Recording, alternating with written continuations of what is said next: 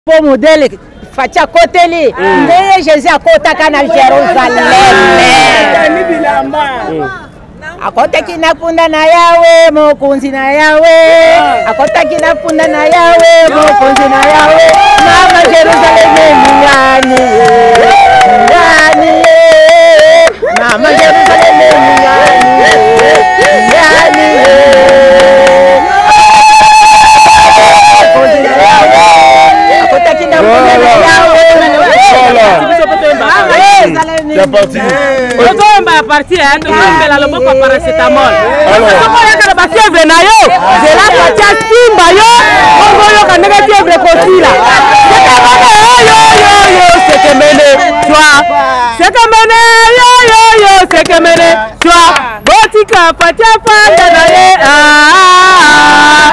na mipepe kongo yo botika pati azwa mopepe nakanisi bolandi e ebele azala na yango mpo asala mosala makambo nyonso ekende liboso asi abandaki akontinue kaka na mosala na ye azonga nsima te topesi ye courage wana biso bamama na ye azonga nsima te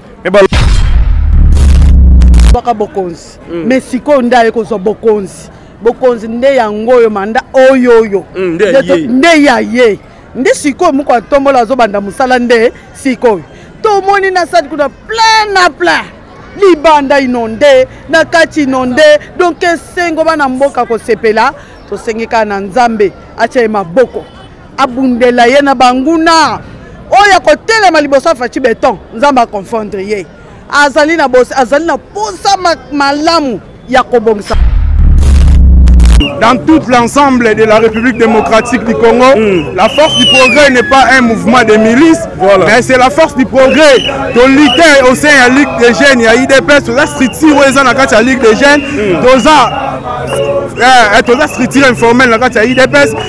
yango nakoyebisa na communauté internationale mpe communauté nationale na locale mm. biso toza bajeune oyo tobundela lite oyo c'est-à-dire tobundana oyo bozobenga lelo président de la république félix antoine tshisekedi mm. biso liste na biso eza mpona bavaleur lite na biso eza mpona bantivaleur te mm. oyo aza antivaleur na kati ya force du progrès azalaka te bazoya mais ye awa mwana mboka azoboya me bino boza na rando na kabila ti lelo poni toza na ye moto apesa bino pasi toza na rando te mm. toza na rando te d'ailleurs mokonzi ya mboka aremercie bango nyonso surtout baoyo bakendaki na ye na élection aremercie bango alobi na, naza papa na bango naza moto na bango nasimbi bango baya tosimbana totombola mboka na biso alors tozala na ye rando ya ndenge donc s'il faut cette fois-ci ata kabila kota na gouvernement fayulu paya katumba ye bokotravaille c'est-à-dire chef de l'état promettre yango mm. alobi ngai naza mokonzi ya mboka oyo nazoluka pe na etandi ya congo mobimba soki ke bavanda bakovanda soki ke basala bakosala mm. bon. pas commenter ça c'est très bien donc le monde est témoin ceux qui doutaient encore l'opération est simple qui est ton frère parce que chaque congolais du nord, du sud, de l'est de l'Ouest a un seul frère. Hmm. Son nom c'est Félix Antoine Tshisekedi Chilombo, Fatih Béton. Mais toi qui doutes encore, qui est ton frère C'est le problème de ADN. Je suis congolais, je vais soutenir Félix jusqu'à ma mort. Toi aussi congolais,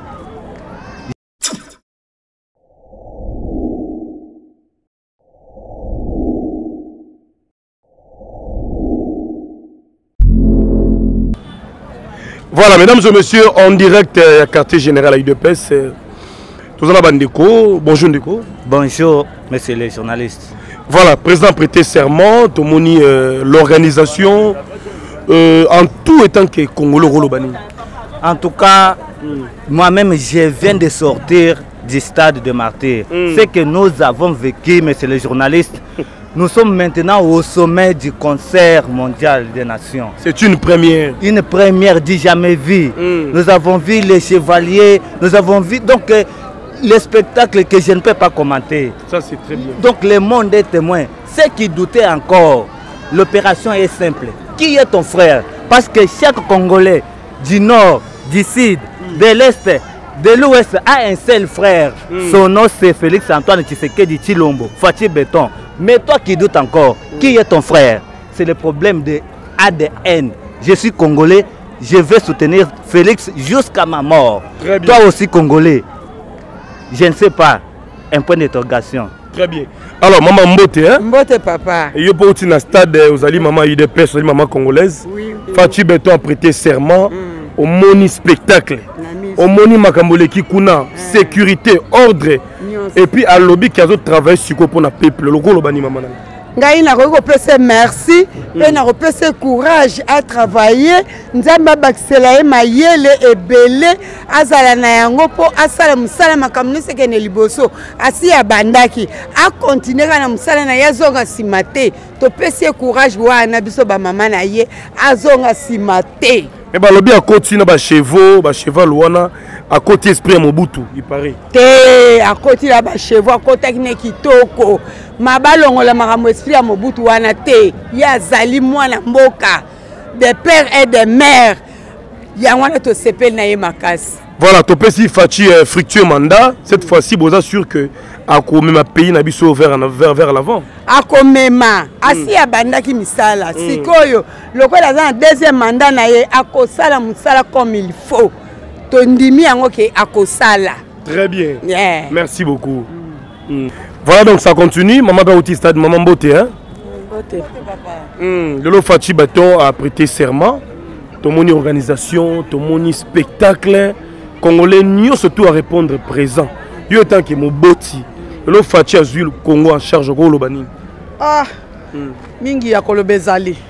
Mm. nzoto malili ba chair de poule ezobima mm. na nzoto mm. en tout cas faci beton azwaka bokonzi mm. mais sikoyo nde aye kozwa bokonzi bokonzi nde yango oyo manda oyo oyo mm, nde ya ye nde sikoyo moko atombola azobanda mosala nde sikoyo tomoni na sadi kuna plein na plein libanda inonde na kati inonde donk esengo bana mboka kosepela tosengeka na nzambe atya ye maboko abundela ye na banguna oyo akotelema liboso ya faci beton nzambe aconfondre ye azali na bosi azali na posa malamu ya kobongisa mboka me balobi akoti na bachevaux wana akoti esprit ya mobutu esprit ya dictature bazoloba non non dictature te mm. Mm. alobi sikoyo nde kisali me mm. banda mosala ya malamu nde ezobanda oyo bamonaka faci beto neti eh, boye eh. sikoyo nde alati elongi ya mosala alingi asala mosala sikoyo na mboka congo oyo akosakana na moyibi na komeka boboyi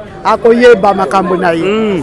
alors bamama na biso bango oyo eh. bino nde boboti mwana eh. bopambolaka mwana eh. lelo faci aye lokola mobali tomoni bahélicoptère ezotambola sécurité moto akufi te moto mpe abongisi eloko te alors bouti na stade kuna mpo na faci bokoloba ni mama papa mpo na fwati mm.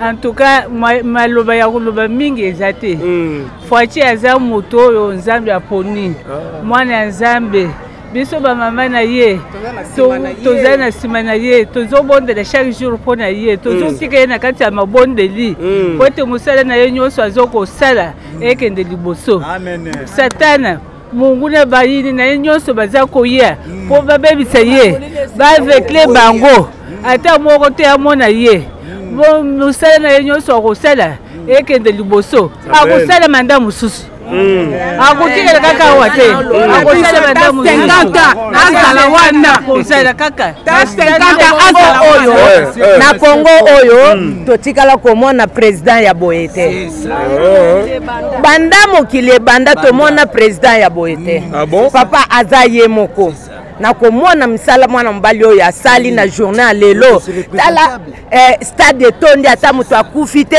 eloko moko ya mabe esalami te en tout cas fati akende liboso mais tomoni fati abengisi baprésident bampaye ebele baye na kimia eh, sécurité eh, sécurité ya makasi papa balakisa ke hmm. fati aza mwana ya nzambe fati aza mwana mboka fati azotambola elongo na nzambe eh. azosala mosala na ye na nzambe atye nzambe liboso yango wana akosala troisième mandat hmm.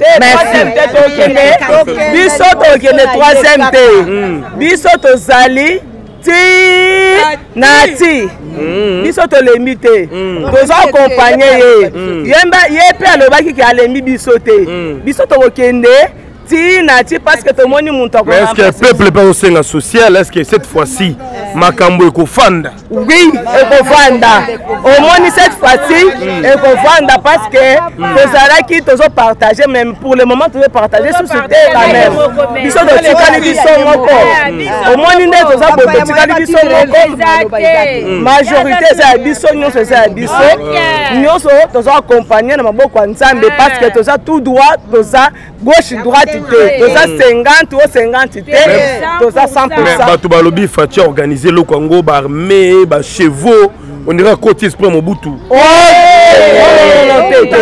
eza boye mobutu asala eloko te omoni aza première Mm. aza exemplaire ya baprésident mm. mm. ya mboka mm. premier fois tomona eloko esalami mm. toza tozosala 37 ans de lutte mm. mais eza première fois tomona yango eh. ocomprendre nano totikala omona ergenement bote prestation serment oyo c'est une première mais kabila basa baprestation serment ya bote toza exemplaire ya mboka tomona ba président nyonso ya monde entier baye toyambi bango bamoni biso biso biso tomoni bango toyambi bango alors ce qui est bien moto akufi te moto abungisi eloko ngai nde naza boye nauti stade nauti stade ngai nazalaki proche eloko eza te moto akufi te moto azoki te tozongi tokendaki banda mpe tolalaki na stade tolamuki na stade tozongi mpe awa na kati na base biso yeyo merci ko mama nalobi e bato nyonso bainvite baye mais président kabila aye te mpo na nini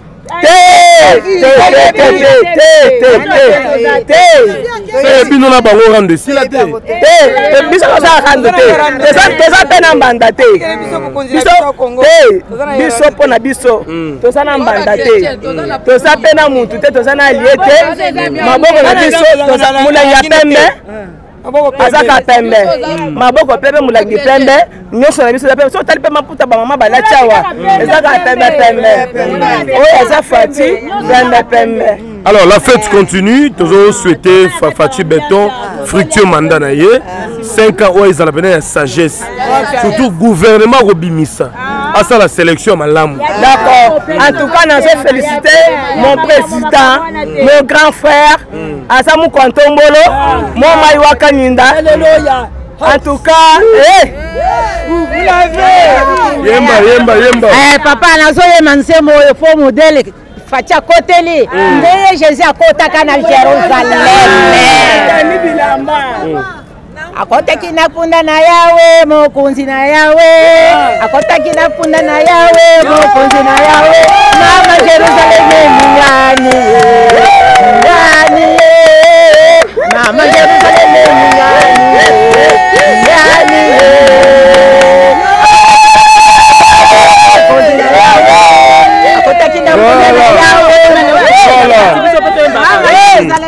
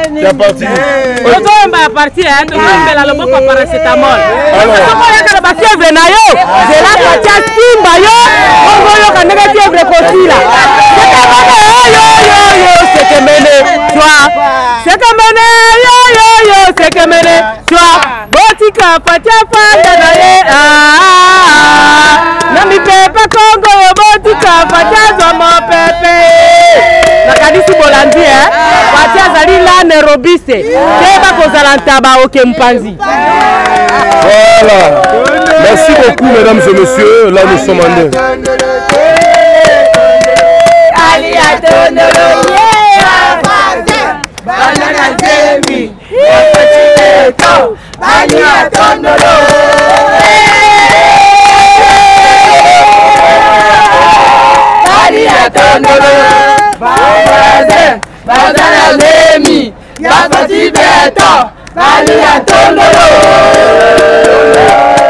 voilà merci beaucoup voilà bandeko baza ebele quand vous le remarquez l'ambiance est là au rendez-vous donc euh, l'ambiance est là bato bakofete victoire ya faci beton mama okotelema tosola moke outi stadit na aza na esengo ya faci awa ya koloba mwa oyo aza na esengo ya faci aya hmm.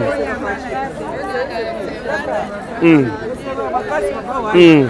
comme ça mama tourne be moi eza makasi alors yo oza na esengo nde faci a prêté serment naza na esengo makasi mm. parce que nzambe arécompense biso kolela oyo tozali kolela biso bamama veve ah. euh, asali biso récompense ya kopesa biso mwana na biso tomisaki na libele mm. lelo oyo nini azongi lisusu mandali pour la deuxième fois toka hmm. eza gloire à dieu omoni ndenge faci akoti déterminé bachevaux pembeni armé pembeni eza sini nini ya sini ya dictature akoti ti spo mobutu spo ya muse kabila to ndeni te wana eza sini ya dictature te hmm. aza na kati ya moi ezo manke nga je manque le mot hein hmm. eh, azwi nde autorité sikoyo sikoyo sikoyo nde abandi sikoyo mosala liboso ezalaki azopalpe partout mais pour le moment sikoyo amifandisi ah. sikoyo nde amifandisi pouvoir tolukaki nde yango sikoyo nde kisalu mebanda oyo ah. toyake kisalu kisalu kisalu kisalu nde ebanda ebandi sikoyo sikoyo misala ebandi akotonga mboka akobongisa social makambo tu nyonso ekosalama en tout cas toza sur et certain parce que bagenou na biso eza na se avec dieu nous ferons des espoirs en tout cas amen mama merci beaucoup ndeko mosusu eh, mama bango oyo azoloba donc euh, la fête là charosona miasa bamama bazali eh, mama oza mwa mosika otelema mwa moke hmm. donc euh, mama esengo na asile ezali eh? touti na stade toye na quartier général ya idps bino boboti mwana na bino lelo aza réélu otali faci ndenge akoti omoni organisation baprésident bapaya baye moto akufi te eloko ebungi te en tout eleki malamu yo okoloba nini teke mama te ngai eloko ya koloba hmm. eza te komi ke lelo hmm. ezalaki mokolo na biso ya complete seulement hmm. sikoyo eza mpo na ye moko te ah, eza mpo na kongo mobimba mpo tozalaki na mai na miso ke te mwana mboka mm. azwa mboka na ye na maboko mm. comme ke mwana mboka okolo mabele oyo ayebaka souffrance ya place biloko elonamaka bien na place eloko elonamaka bien te mm. toza ya kosepela makasi yango wana omoni lelo ata kiti moko etikali te euh. oyo ya kotelema mpe likolo batelemaki tobake vote en plein air mboka nyonso bamonani ke te ezalaki basengaki eh, video bamonaki vraiment video lelo ezalaki en plein air bamindele bayaki bango moko bakonfirmaki ya kokosa ezalaki te ya koyiba ndenge baninga wana bazali bavoisin ezali te biso toza moïse ya congo azala ka moïse ndenge asignaki ke te il fallait asepelisa bana congo mm. ah, biso mpe toza nsima na ye tokotika ye te ah, comme ke alobaki akosala na bajeunesse na bamama mm. biso toujours tolo na se nzambe asunga ye apesa ye makasi apesa ye sagesse mpo akontinue na bamama mingi toza nsima na ye tokotikela ye tan te toza kaka na mabondele nzambe ya likolo apambola ye abakisela oyo etikali oyo eza na motu na ye te abakisela ye mm. azala toujours mpo toyebi ke ye remise reprise ntina mokolo jésus akoya soki faci te hmm. nani mosusu faci aza nanu faci aza nanu nanu asali eloko te wana ezalaki transition tozalaka na première mandat ezalaki ya so tozalaka na première mandat oyo tobandi na 5 ans wana asalaka 2 ans 3 ans wana ezali ya difficulté pour le moment tozo appuye ye mpo bitumba ya est akolonga yango komi alongi manda oyo toza sur ke azolonga bitumba ya, ya est toyebi tokozala na kimia mm. eh, il fallait ebongo eh, social ya bacongolais social ya bacongolais mm. ekokoka ekokisama toza mm. na première mandat mm. abandi première mandat kaka na ebandeli papa na social lelo ata yo moko otyeka zemi oboti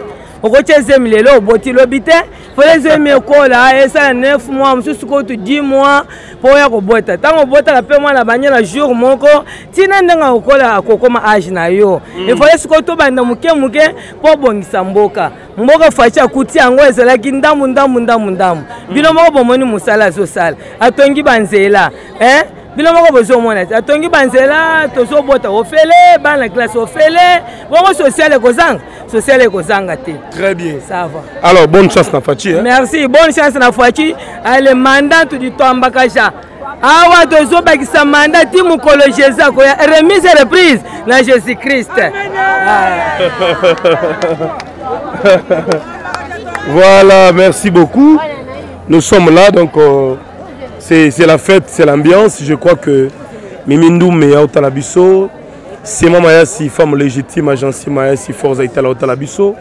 Merci à tous les Congolais, hein, bande quoi partout. Ba mère ba pe belé, ba msou bango bazoli. Hum. Hum. Maman, na moni yo za motivé, oza na esengo. Moko alelo sepeli sur. En tout cas papa na yebite. soki nakoloba nini mbala liboso mpo tomona makambo ya boye ya kitoko ya ya makambo ya kitoko makambo elengi tozotika kaka fati beton na biso na maboko na nkolo akokisa mayele nyonso oyo eza kati na ye mpo na mboka congo oh, mpo na biso bamama tolobi te akende liboso akende kaka liboso ti nzambe na ye alakisa biso bavizio mosusu ya kitoko koleka oyo azosala lelo mm. ngai nayebisi ye kaka voilà mama mpe yo aye je crois que euh, bonsoir mama bonsoir toye na quartier général na bino eza mpona kohonore mokonzi ya mboka parce que lelo aprete serment na ye congo mobimba ezalaki représente kaka udps te me bacongolais nyonso tomoni ndenge cérémonie esalami en couleur c'est une première na congo akoti na bachevaux bato basepeli oyoki mpe discours na ye eloko nini yo oreteni eloko nini esepesa mamfachisa lelo hmm. discours ya mokonzi ya mboka eza kitoko makasi hmm. Hmm. il a bien parlé euh, c'est le président du peuple c'est le président de la république il, est, il a été vote par la population mm. donc discours oyo na retenir wana mm. alors kotala événement ndenge eleki okoloba nini ya lelo oui en tout cas c'était très bien réussite eza totale il y avait une foule terrible biso kutu tokoti na kati tozopema te tobimi libanda il y avait une foule vraiment extraordinaire mm. c'est ça alors ndeko na ngai yo mpe combattant euh, otelema ndenge eleki okoloba nini en tout cas ezo elekela ngai hmm. ngamona satande te tokomi boye babengana biso bobima bobima place eza su te hmm. aloba bakoca biso mpona stratégie ke plein selema bazozongisa bato bozonga bozonga place eza te hmm. donc nga moko esengaka motu mpasi nazanga na commentaire mais après 37 ans de lutte lelo deuxième mandat bobike boza na charge parce que après les gens disent que idps ekokufa tout ça ekopanzana boza dans l'obligation de faire mieux eh, nzambe nde moto azwaka décision bato ya mokili te très bien aza moto nzambe akosunga ye aza président oyo adedia eh, mboka akoboka nzambe alors nzambe aa nzambe ya justice te nzambe asilaka te nzambe asilaka te hmm. dieu n'a jamais été corrompu hmm. comprendre nyonso nzambe moto ayebi yango so nzambe abaki ezala boye ezala boye hmm. c'est ça nana commentaire watya su te alors combattant rapidement hein, tozwa yo oui naza cadre vraiment eloko eseplesi nga nanu par rapport ya bapaye bapaya uti partout oui. banda na botama c'est du jamais vu nani namoni activité te bapaya bauti na afrike bapaya bauti ya ndehor ya pays vraiment eza eloko moko oyo vraiment nasepeli mibale eza prière basala na nzambe ah, namoni basala na nzambe basambeli reverend dalo alobi nzambe merci parce que na manda oyo bamiyibi kozala te wana bapriere ya rola dalo priere ya papa moko ya bangunza alobi mm. bangunza papa wana azoloba asambeli na lingala abeli nzambe akimpavita abeli nzambe akimbango pourkua pa nzambe achisekedi mokolo vraiment eloko wana epesi ngai vraiment souci ya ke non faci oyo eza manda ya prospérité oyo eza manda développement oyo eza manda sécurité chance mpo na bana idps chance mpo na bana congo mpe sloka ya lelo eza uni pour la rdc cestadi ke mokongo moluba mongala nyonso ensemble mpo na congo mm.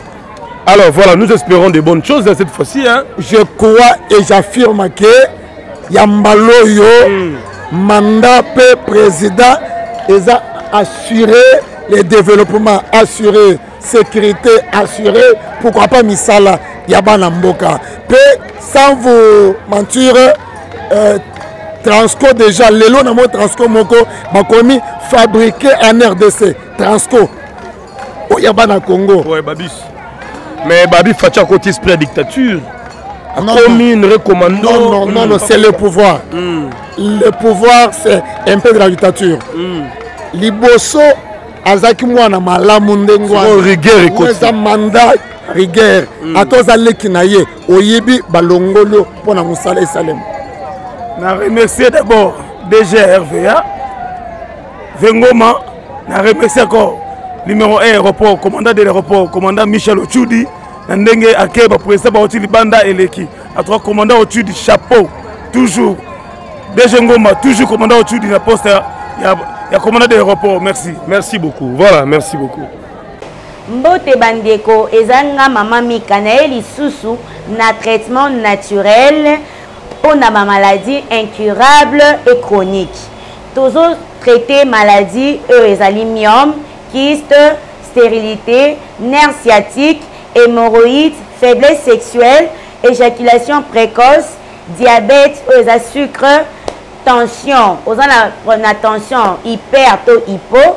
tozosoigne yango très bien oza na problème ya hernie yaka solution ezali epa mama mika baproduit na biso ezali très efficace et puis toza na ba témoignage ebele yo mutu nerf sciatique etungisi yo longtemps en tout cas ndeko na nga ko hésiter te yaka na lombangu solution ezali ya bien okozwa ba cure ya kitoko mpe okosepela mama papa oza na problème ya sterilité erumeli zongisa esengo na libala na yo yaka mbango epa mama mika kose décourage te solution ezali ya malamu mpe rapide Cote cosmetique na tiki bino te bandeko na nga tozo soigner problème ya nduta, tampon, cancer de peau, graisse, bouton. Toza na ba mafuta oyo ezali crème réparatrice mpo na tampon, toza na thé métis mpo na bato ya pembe. Ndeko na nga yo mutu pembe na yo ebebi eza ya kogate, kima mbango epa Mika cosmetique ba produit na biso ezali naturel sans hydroquinone alors tozali na crème de beauté mika normal mpo na bata mwindu na bata chocolat toza na gommage mpo na babouton toza na lotion tonique mpo na bato ya bagraisse solution ezali ya lombangu yo moto oza na problème ya suki libanzi esala yo suki ekatanaka katanaka ndeko yaka mbangu toza na pomade ya suki na huile ya suki tozali na Euh, savon noir na biso mpo na bato bala problème ya baallergie mikusa en tout cas savon noir eza très efficace ekotia bino à l'aise na douche toza na huile d'anana mpo na bato baza na peau sèche ndeko kima mbangu e awa ah, tozali na pomade antisola mapeka yo moto osalaka misala maboko okendaka classe okendaka kayu benga biso na plus 243 89 98 27 674 adresse na biso ezali komi na kalamu quartier matonge avenue pozo numero a 17 boya mbangu bay voilà ndeko mbote hein? mbote alors baimpression eza nini papo ya ndenge mokonzi ya mboka prêté serment lelo tomoni yango aux yeux de tout le monde congolais nyonso ayaki bapaya baye tomoni sécurité tomoni mosala esalami bien yo koloba nini En tout cas, toza na esengo makasi journée à lelo mm. parce que esalama nanu te na mboka oyo surtout na bapaya oyo baye kotala biso mm. plus de 16 présidents ya afrique mobimba baye na badélégation na badélégation na bango états-unis bapartout euh, pays nyonso mm. baye koassiste na, pré, na prestation ya serment ya chef de l'état mm. yango nde toza na esengo makasi vraiment beton beton mais, mais justement après ça est ce que travail sikoyo parce que bosali lita 37 ans congolais azozela mpe social vie ebonga makambo ekuba ekoma kitoko oui oui chef de l'état promettre na discours na ye mm. alobi euh, surtout mpo na gratuité de l'enseignement mpo mm. na santé gratuit mm. donc eloko wana de deux alobi mpo na stabilité ya monnaie ya franc congolais vraiment alobi yango mpo ete mboka na biso ebonga surtout na badéveloppement ya sakara 5 territoire alobi misala nyonso ezobanda lolenge totikaki yango tozobandisa yango mpo ete mboka ebonga na ndenge ya malamu mais oyo eza manda ya suka no nono oyo par rapport ya, ya, ya esaleli oyo président de la république alingi asala peuple congolais bakoki koloba eloko moko ya suka mais en attendant eza manda ya suka donc bino boza na posa kaka acontinue lisusu azalatoza na pasa na posa azala nanu ebongo bafayulu bato mosusu bakokota te nono bizali na yango yango nanu bafayulu baennemi ya mboka bango moko bakolobaka te faci acontinue acontinue te hmm. mais totalela ye name bino bosali boprete serment kabila ye te ndenge bon kabila totindelaki ye nani invitation ye moko nde aboyi me tala baninga na ye baprésident ya misika bisika bazoya mais ye awa mwana mboka azoboya me bino boza na rando na kabila ti lelo poni toza na ye moto apesa bino pasi toza na rando te mm. toza na rando te d'ailleurs mokonzi ya mboka aremercie bango nyonso surtout baoyo bakendaki na ye na élection aremercie bango alobi na, naza papa na bango naza moto na bango nasimbi bango baya tosimbana totombola mboka na biso alors tozala na ye rando ya ndenge donc s'il faut cette fois-ci ata kabila kota na gouvernement fayulu paya katumba ye bokotravaille c'est-à-dire chef de l'état promettre yango mm. alobi ngai naza mokonzi ya mboka oyo nazoluka pe na etandi ya congo mobimba soki ke bavanda bakovanda soki ke basala bakosala mm. bongo voilà ça c'est très bien alors topesi faci bonne chance hein? mpona manda na ye oyo bonne chance en tout cas chance ya kosakana d'ailleurs nzambe asimba ye na loboko o peuple congolais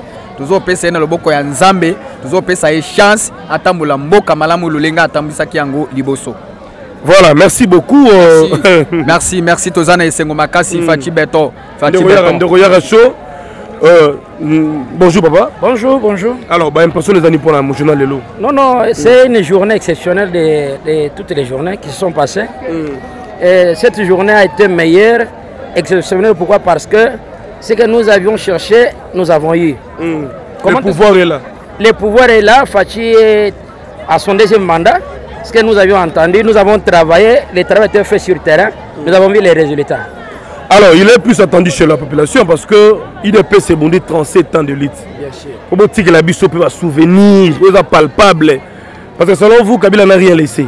Ce Tu peut me juger après, est-ce que ça vous le savez Oui, vous savez que hmm, dans son discours de d'investiture, il a dit d'abord on ne doit pas répéter les mêmes euh, erreurs qu'on a fait la fois dernière. Voilà. pourquoi on veut améliorer. Là où il y avait les erreurs, on doit corriger. Très bien. Là où on avait limité les travaux, on doit continuer. Hmm. Et là où on n'a pas fait, on doit faire. C'est hmm. ce qui est là, ce que nous entendons. il est sûr de lui-même. Il est sûr de lui-même parce que c'est un mandat donné par le peuple congolais qui lui a donné mandat.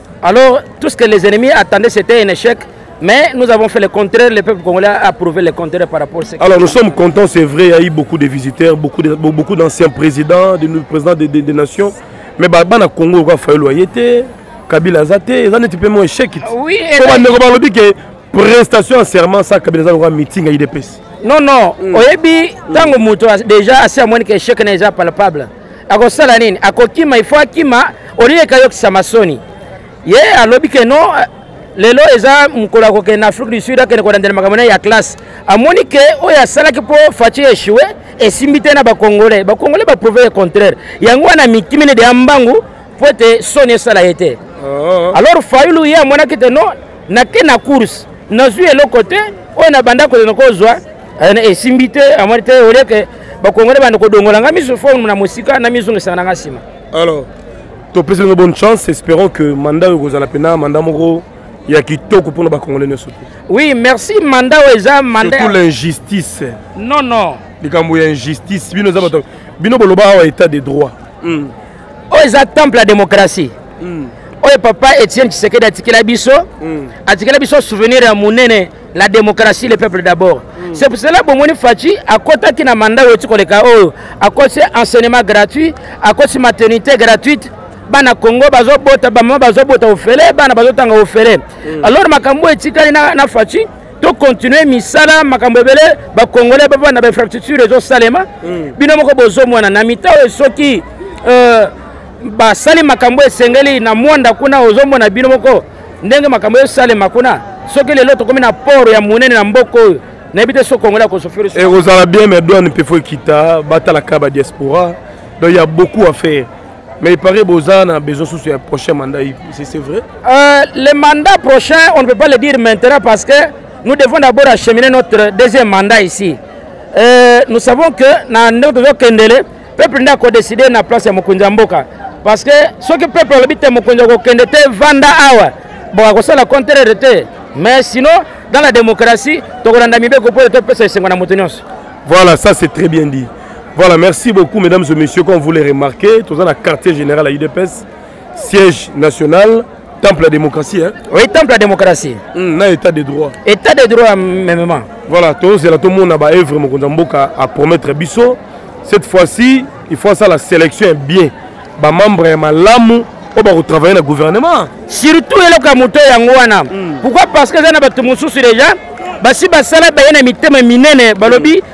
to lisusu kosala mpo te toyiba me mokonzi ya mboka abeti sete alobi kobanda bainstitution nyonso ya likolo makambo nyonso ndenge ezokendele mm. esengeli moto na moto azwa conscience kobanda na bainstitution ya likolo ti oyo ya se mpo ete makambo ezala malamu mm. alors qui sera le, le prochain premier ministre selon basondage ba e na basondage oyo oyebi ke majorité nde epesaka premier ministre mm. alors actuellement tozomona na kati ya idps biso nde toza na majorité ah. alors si cela est possible que entourage ya union sacré ekoprouve que non ndenge idps eza na majorité c'est possible tozwa primature lisusu ah, donc bokotravaille na président faci na premier mpe idps euh. non nayebisi yo bien par rapport au contour kabila mpe asala yango na matata ponu ti oui mais bien sûr olobi yango euh. yango nazoyo epai na yo nalobi ke soki entourage ya chef de l'état niveau union sacré badégage majorité badégage majorité alors tant mieux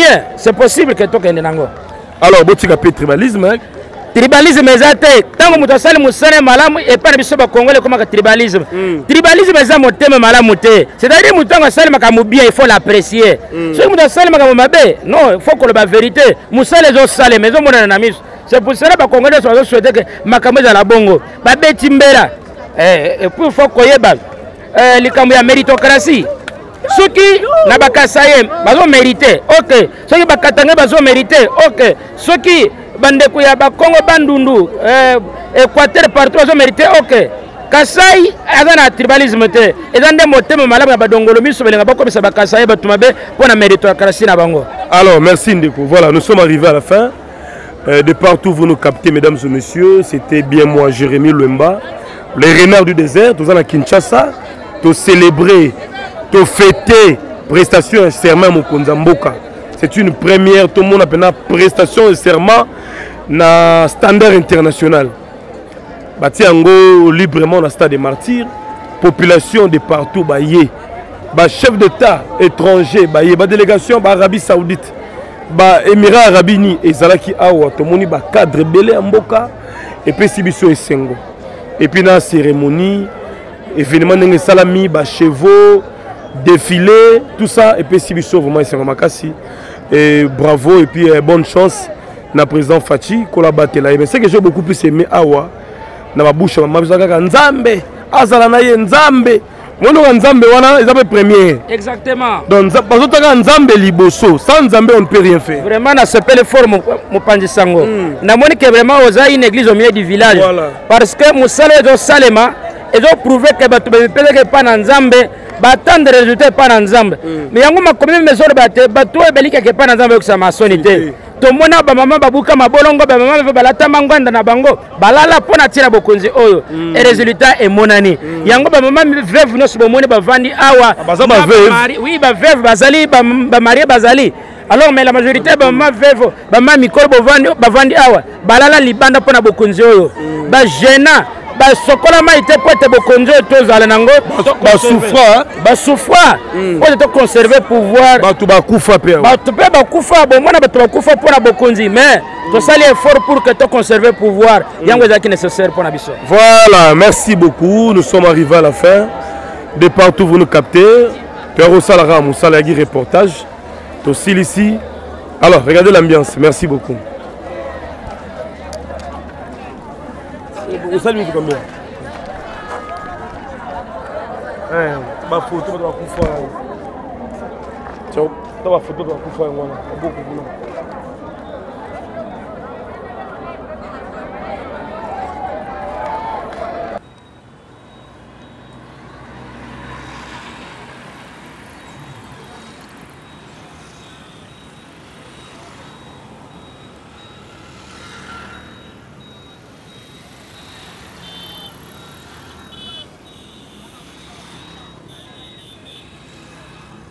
Voilà, mesdames et messieurs, comme vous le voyez, l'ambiance donc du retour à stade à ah, Ezaro Yinda Makassi. Donc, ils ont vraiment.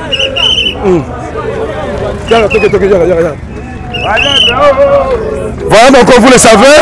Président, bonjour.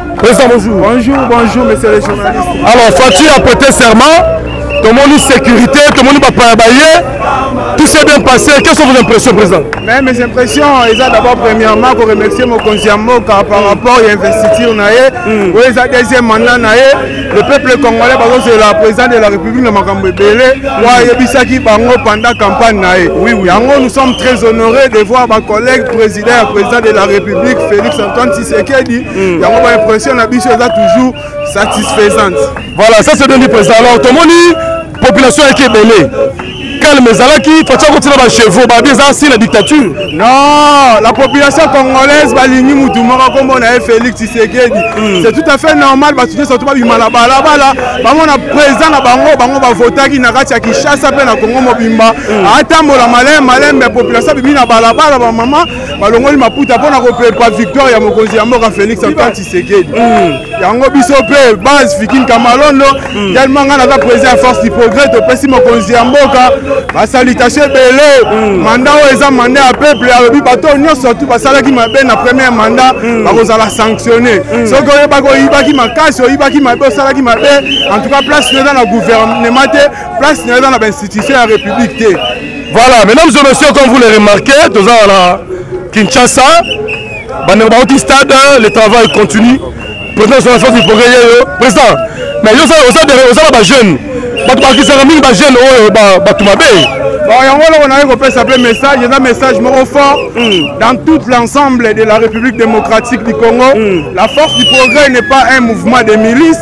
Voilà. Mais c'est la force du progrès.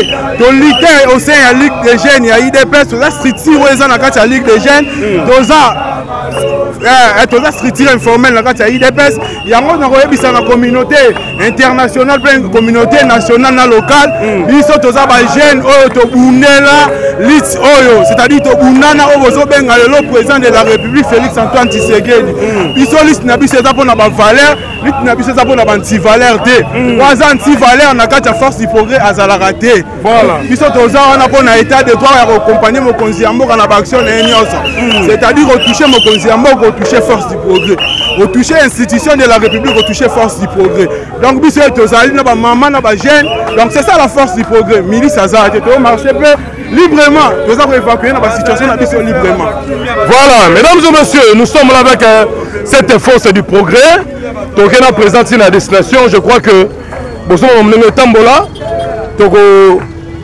expliquer bino réalité après peut-être serment euh, on est ensemble on est ensemble mesdames et messieurs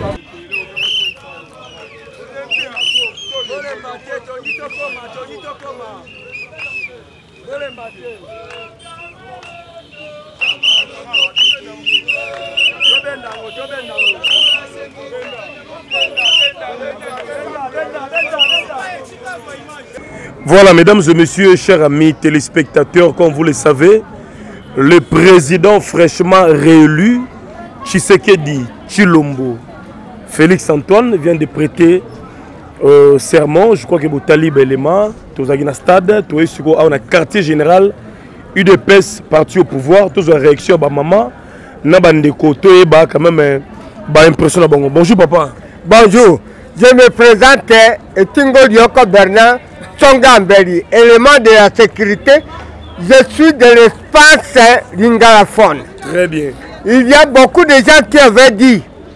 Moruba Koko doit pouvoir.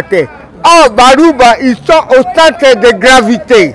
Aujourd'hui, où sommes-nous Ceux qui le disent, oh, oh, oh, la preuve est là. Le 20, le chiffre 20, le 20. Nous avons voté le 20 on a élu le président le 20 et la Cour constitutionnelle a confirmé le 20. Aujourd'hui, au stade de Marty, le 20 samedi, qui date et qui se passe, les épinglés et consorts, ils pouvaient nous dire que le président a fraudé. Je vous rassure, toutes les nations congolaises, partout où vous êtes, j'ai subi en Afrique du Sud, on est à train de fêter la victoire, la, la et les prestations de serment. Si vous avez encore une question, posez-moi. Alors, merci beaucoup. Je crois qu'on a suivi avec euh, beaucoup d'émotion, beaucoup d'attention.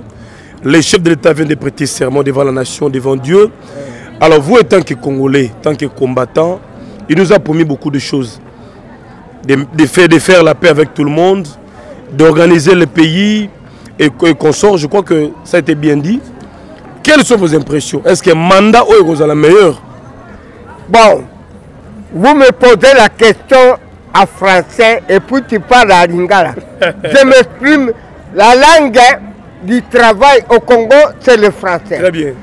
J'ai dit ceci. Hmm. Le premier mandat a été intercalé par FCC 15. Jusqu'à présent, nous avons rompu. Vous avez vu les réalisations que Fatih Betan, Moukwatondoro a réalisées. Très bien. Cette, cette fois ici, mm. avec Dieu,